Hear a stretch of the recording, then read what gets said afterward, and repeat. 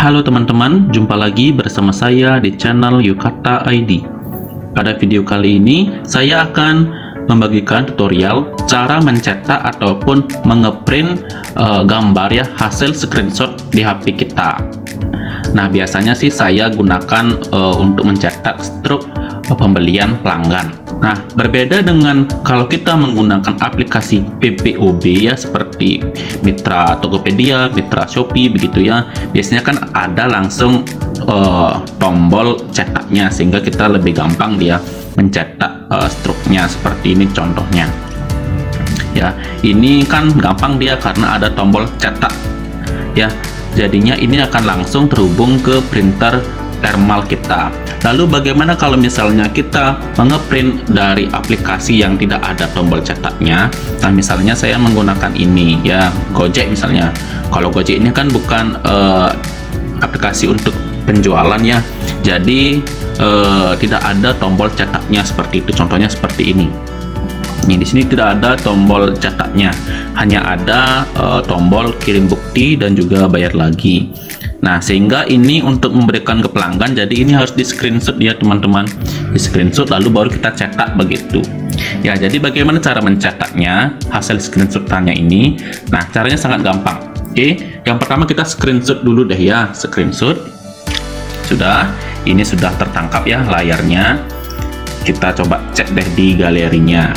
Di galeri, ya ini ya yang barusan kita tangkap layarnya yang ini Oke, sekarang untuk mencetak gambar ini kita download dulu ya di Play Store. Teman-teman ketik saja di Play Store Express Thermal Print ya seperti ini. Express Thermal Print. Ya, seperti yang ada di atas ini ya. Di seperti ini dia. Ya, karena di sini saya sudah mengunduhnya jadi saya tinggal klik buka saja.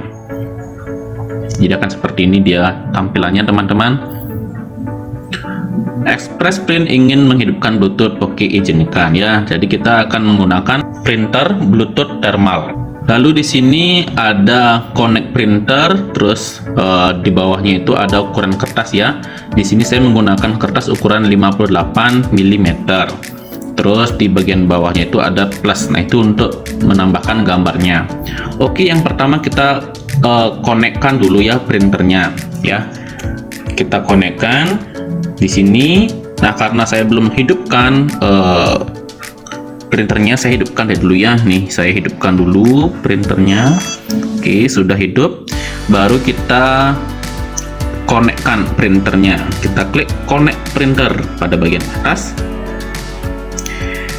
kita cari ya eh, nama bluetooth printernya MPT2 oke jika sudah terkonek eh, printernya ya di bawahnya itu kita pilih ukuran kertasnya 58 mm terus di bagian bawahnya ini kita klik tanda tambahnya itu ya untuk menambahkan gambar hasil screenshotannya.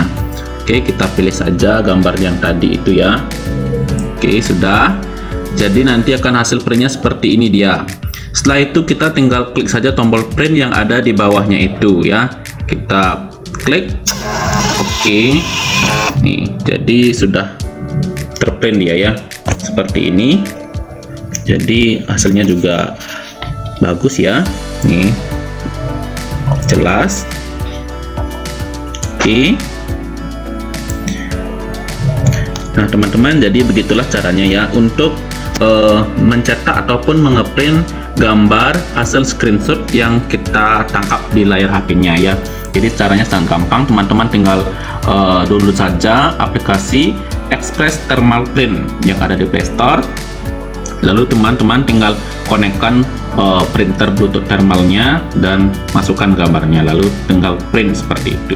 Ya, jadi caranya sangat simpel dan sangat mudah. Oke, Sampai di sini dulu video kali ini. Semoga video ini bermanfaat untuk teman-teman semuanya. Jangan lupa klik tombol like dan subscribe-nya. Sampai jumpa di video selanjutnya. Dadah!